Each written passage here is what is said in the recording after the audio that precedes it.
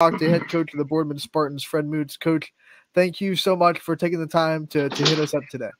Uh, thanks for having me on. It's been a minute since we were able to talk softball on YSN, and we're we're happy to have you back. And before we ask you about this season and all the things that you have to look forward to, want to give you some time to reflect on last season and some of the things that your returners learned from last year, and some of the things that maybe you as a coach learned from going through uh, last season. Um, well, you know, we lost a tough one there in the district championship game. So something obviously, um, you know, coming into this year we could, you know, build on. Um, uh, scheduling up uh, obviously had us ready for the tournament. Something we do year in and year out. So, uh, you know, I guess that's one thing. You know, when I took the job, that was uh, key for me is to make sure that these girls are ready for the uh, tournament run. You know, obviously coming into this year, um, I got a lot of new faces there at the varsity level. Um, I had uh, eight seniors last year, um, which most of them played, you know, or on the field for me. So, uh, you know, I guess the other thing you take from it is Division One softball. It's pretty tough for sure. All right, coach. Let's look at the roster that you are bringing back this year give us some. Uh, you'll I just have you break down the roster. You know the returners that are going to be big for this team again this year, and maybe some of the new faces that are going to fill the spots of those great seniors that you were able to to coach for the last four years. Who you got, and who should Spartans fans look out for this year? Yeah, you know we're we're obviously we're you know we're really young. We're really we're going to be somewhat inexperienced at the varsity level. Uh, obviously, returning is uh, Tori Strines. You know, Tori was amazing down the stretch for us uh, in the circle. Um, and then obviously uh, Maddie Weimer, who was our returning catcher. And, you know, my three seniors, uh, I didn't have one all last year. Natalie um, coming back off a torn ACL. It looks great right now. So I'm very optimistic that Natalie obviously is going to help us a ton.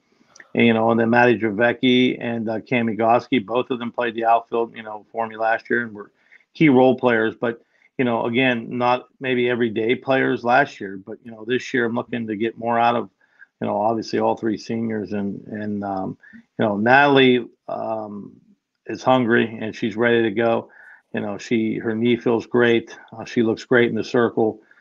Um, so you know, as far as that, the girls from last year, that's really what we have. And you know, and Olivia Lasivita, she caught for us some last year when um, when Maddie was down for a little while, and you know so but again very not a ton of experience you know um, at the varsity level. And then you know we got a really good sophomore class and a really really good um, freshman class as well.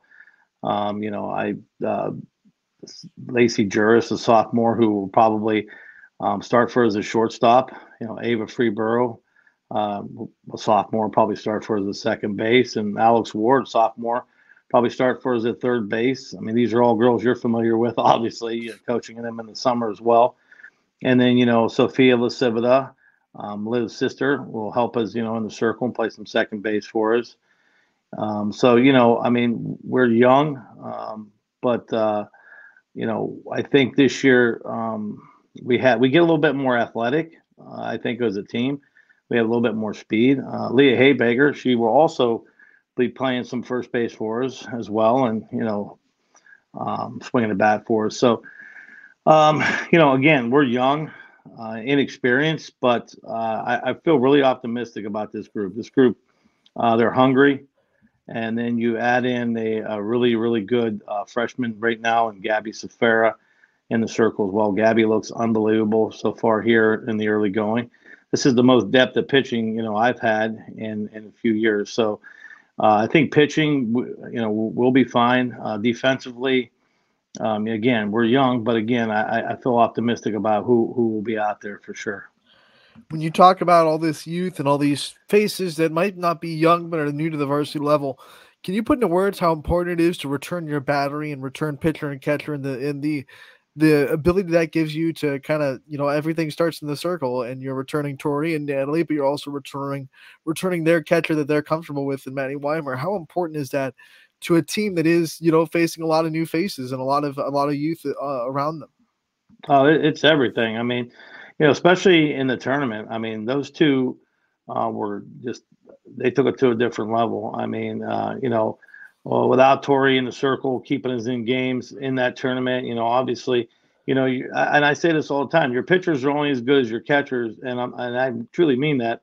I mean, you know, it's just it's unbelievable to bring back that same combo who had us really one hit from being in a regional last year, you know, one key hit, and uh, you know, being able to bring that that same combo back, and then you add Natalie uh, coming back, who you know, Natalie was a, it was a hell of a pitcher prior to getting hurt, and then you, like I said, then you add the uh, youth and um, and Gabby, and uh, you know, really all three pitchers are unique in their own way too. So, uh, which is also a plus. You know, some you know you, you get to kind of maybe you start a game with one and end with one, and you know you you'll be able to do some different things that I normally wouldn't have been able to do in years past with uh, with a combination of these pitchers. But yeah, it's extremely important to have um, those two coming back for sure. In this league, a lot of pitchers that a lot of people know very well um, Natalie Davis coming off an injury. Do you think it's a little bit of an advantage that there's not as much film on her because she wasn't able to pitch last year, and you got maybe have a little bit of that ace in your sleeve that the rest of the league doesn't have, in a, in a pitcher that other people maybe aren't as familiar with? Yeah, yeah, that's a very good point, and and also you know Natalie, and I told her this a couple weeks ago. I said, you know, she just looks different. She's just really hungry. I mean, this is a kid who's lost two of her four years of high school softball. You know, she lost her COVID year her freshman year, and then she lost it, you know, obviously her junior year to an injury. She just looks really comfortable, really confident, and you know, so yeah, I think it does play you know a big role. And like I said, Natalie's unique in her own way in her style as well. It's you know she's not necessarily you know a fireball type pitcher. She's going to go out there. She's going to hit her spots really well. She's going to use you know her out pitches very well. So yeah, I, I think so. Definitely to answer your question, yes you know, pitching you guys are going to be solid. I think the question mark that people are having coming into this year for you guys is the, especially the power in the lineup was a lot of your seniors last year. Uh, what do you think the lineup's going to look like? What do you think this offense can do this year to kind of replace some of those bats that really brought you some extra base hits last year? Well, yeah, I mean, I did have, you know, that's the difference between last year and this year, where, you know, last year we had some big boppers in the lineup, and this year it's a little different. So it'll be a little different style of softball. Uh, you know, not that the short game hasn't always been important in my offense, but this year it's probably going to be utilized a lot more. So, you know, uh, and again, you know, I have the utmost faith in my pitching staff that we're always going to be in games that, you know, and I tell them, you know, perfect world, we can go out there and bat for 450 as a team, 400 as a team, but that's just not reality. And, uh, you know, as long as our pitching and defense keep us in games, you know, we're, able to, you know, uh, steal them either late or, you know, or, or, again, scrape, scrape two, three runs across the board, you know, and that, and that could be enough in a lot of games, hopefully. Let's talk about this AAC and how tough it is. You know, you look at the pitching in the AAC, Howland, Fitch, you guys, and uh, Canfield all bring really talented pitchers into the circle. What's navigating this league like, and what's it like going up against a, a quality, quality college level pitcher every time you step on the field against a conference opponent? Uh, it creates more gray hair than I already have. I, I can tell you that. It's listen, this league, if it's not the hardest around, I I'd like to find one that's tougher. I mean, you know, with pure talent, and then pure uh, not not only just talent, but with coaching ability inside the um, the, the league itself.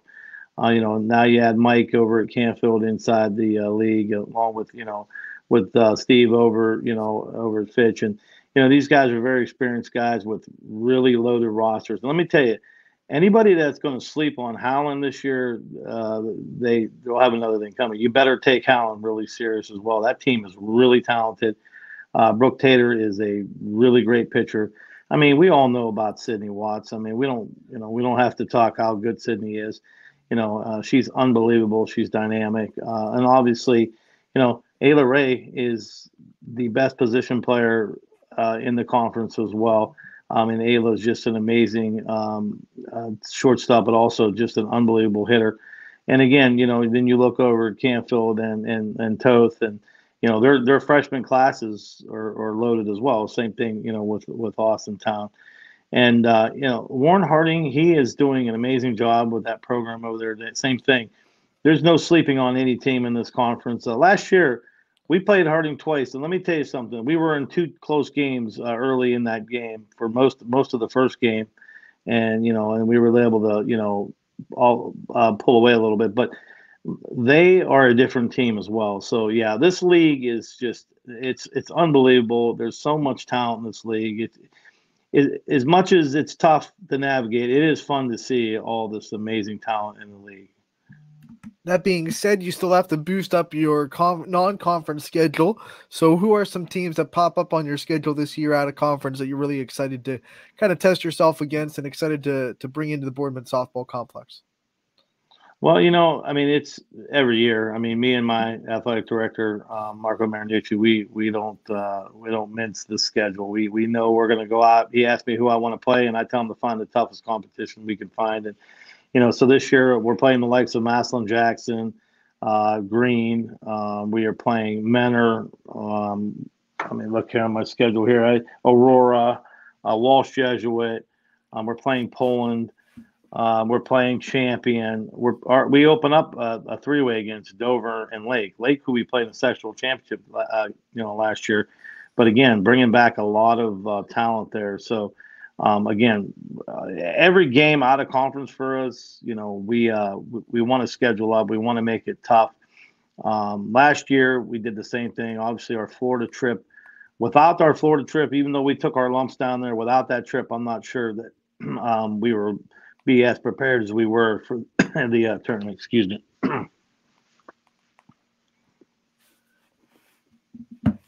when you think of all that and you think of the goals that you have this season, obviously win the conference first, tournament run next.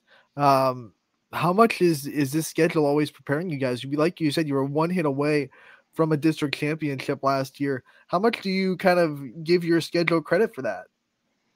Oh, I think it's everything. I mean, you know, and and if I didn't think I had the group of girls that can handle this this you know gauntlet every year, you know, I mean, we prepare, we try as a coaching staff to prepare them. It's not just you know us; it's their travel um, coaches, and you know, in which you you have a part in that as well.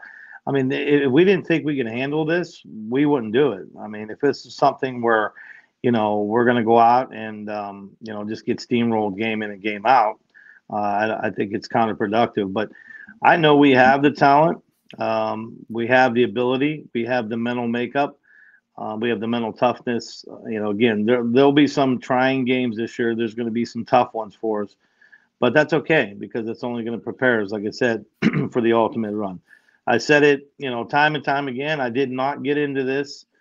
Uh, coaching high school softball to win two, three, four, five hundred games. I got into it to make a run at a state title, and you know, if those things happen along the way, great. But um, it, it's all about the big prize, and you know, it's tough. Division One is well, a- any of them are tough, but you know, we know how tough it is. So we know that we have to be our toughest when we're going to see them late in the tournament. All right, coach. Before we let you go, I want to give you the chance to kind of shout out your staff and the people that are working for you to make this Boardman softball team as good as it can be. Let's talk about the people behind the scenes that are helping you out this year. Well, we're a little different again this year. I mean, uh, I have Lindsay Bates as being my assistant. Lindsay's been with me since I started. Actually, Lindsay started was there prior to me, so Lindsay will be my varsity assistant. Um, and I'm going to bring uh, my daughter Paige on with us. She's going to be a volunteer assistant with us this year on the varsity. And then um, we hired Mike Cook, who was over at Reserve uh, for the last three years. Uh, Mike was uh, over at uh, um, Canfield prior, so Mike's got a lot of uh, softball knowledge, softball experience. He's, you know, coached at the varsity level, and and then uh, Brian um, Ladner, who is a who's a good friend of mine. Brian is a as a he's he's uh he's green right now as, as a softball, and but Brian has coached football. He's coached baseball and Brian is just really willing to learn and get better. And so, I mean, he's so far he's been unreal at that. He's just he absorbs everything. He's like a sponge, and he does very well. So, you know, the, those two guys will, without question, have you know these JV girls um, battling for some spots on the varsity, and you know, and like I said, having the addition of uh, of Paige, uh, the varsity level right now. Um, you, know, you you've coached with Paige in the summer, and you know what Paige brings to the table, and and you know just the um you know the the obviously coming right out of college like she has just you know just fresh off playing in college and in high school. Um, you know the girls really relate well to her.